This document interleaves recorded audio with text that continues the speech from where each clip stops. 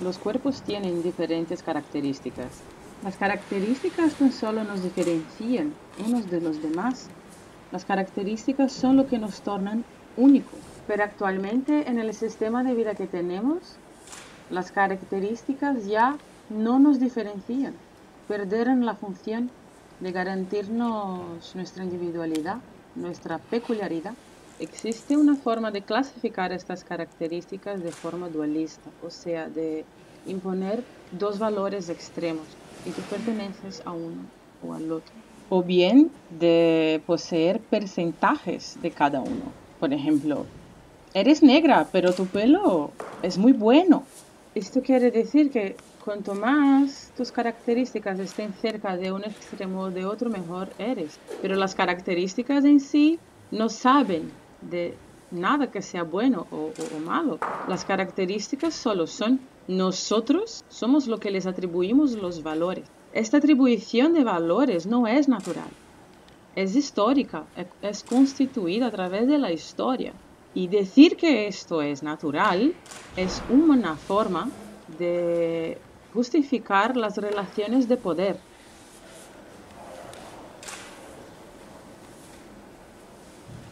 Nosotros solo podemos disfrutar de nuestra libertad y actuar en el mundo a través de nuestros cuerpos. Si están todo el tiempo diciéndome que esta o aquella característica mía es bella o fea, mala o buena, superior o inferior, y que debo exhibir, exaltar y hasta estar orgullosa de una y estar avergonzada de otras y ocultarlas o cambiarlas. ¿Cómo voy a actuar en el mundo si solo puedo hacer esto que es bueno y no el otro? ¿Quién decide lo que es bueno para mí? ¿Quién decide lo que es bueno para mi cuerpo? La gente dice, tu cuerpo es esto, tu cuerpo es el otro. Pero quien cría los estándares no soy yo. Entonces, ¿por qué dicen tu cuerpo? Sí, este cuerpo la verdad no es mío.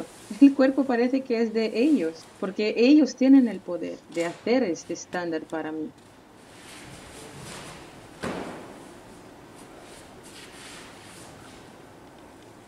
De niña me decían, vamos a alisar a este pelo para que se quede súper bonito. Pero mi pelo en sí no sabe lo que es ser bonito o no. Mi pelo es lo que es. Y siendo lo que es, es bello ya porque ha sido creado así. Porque solo cuando se alice va a estar bonito. Pero eres una mulata hermosa. Tienes que enseñar a tu cuerpo. Tu cuerpo es esto y el otro. ¿Será mi cuerpo de verdad mío? ¿Sabe esta persona que la palabra mulata viene de mula? Sí, mula, el animal de carga. No es la mejor palabra para una persona mestiza. O sea que si mi cuerpo no es considerado bonito, yo lo tengo que esconder. En ocasiones tenemos que aceptar ciertos estándares, como en el trabajo, por ejemplo, pero naturalizarlo es diferente. El poder solo existe cuando una parte de los sujetos de un grupo lo tiene y otra no, pues para que exista un dominante es necesario haber por lo menos un dominado. La parte que retiene el poder impone estándares y algunos de ellos dicen respecto directamente a nuestro cuerpo. ¿Quién dijo que el pelo liso es el pelo bonito? ¿Quién ha inventado esto? ¿Y por qué? Cuando nos pronunciamos sobre algo.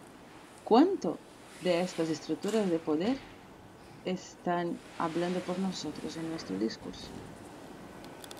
¿Por qué la gente dice mujer por el mero hecho de que ha nacido con una vagina? ¿Por qué tengo que alisarme el pelo? ¿Por qué tengo que caminar con las piernas cerradas? ¿Por qué tengo que sentarme con las piernas cruzadas y juntas?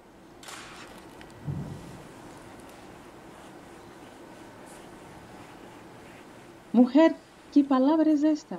Yo siquiera sé lo que significa ser una mujer.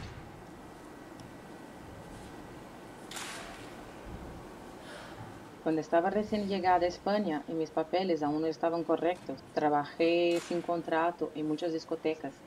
Yo hacía fuego, contorsionismo, telas, y los productores siempre decían, vístete sexy, eres una chica, tienes que poner tacones, y esto y el otro y por primera vez empecé a darme cuenta que la gente me veía como mujer. No es que esto no se me haya pasado antes, pues antes de una fiesta familiar muy importante como una boda, yo tenía también que hacerme las uñas y el pelo y tal y cual.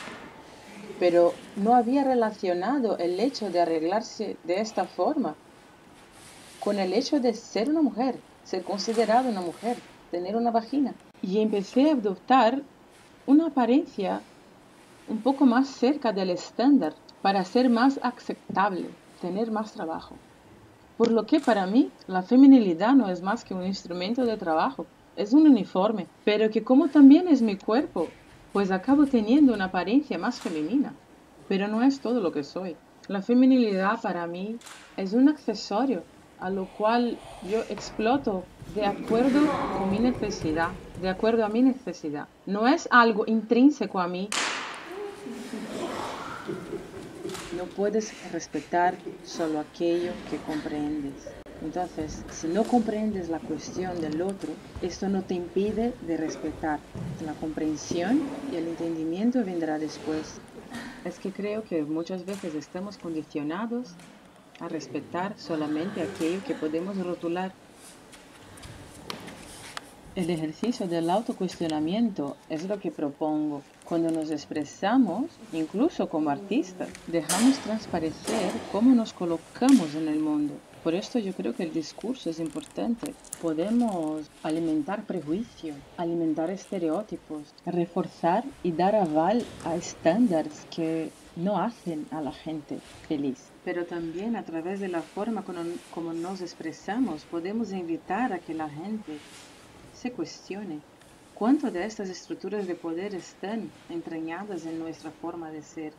¿Cuánto soy yo ¿Cuánto soy aquello que los demás quieren que yo sea? No se trata de observar a nuestra forma de expresarnos con miedo del, que los demás vayan a pensar sobre nosotros, sino por qué nosotros nos colocamos de esta forma en relación a esto o aquello. ¿De dónde vienen estas elecciones? Esta forma de pensar. ¿Quién me dijo? ¿Por qué llegué a creer en esto? ¿Por qué me expreso así? No se trata de cambiar nuestras opiniones o formas de pensar y adaptarlas, tal vez un poco, pero lo principal aquí es entender que la forma como nos colocamos en el mundo es opcional y no se puede imponer a los demás.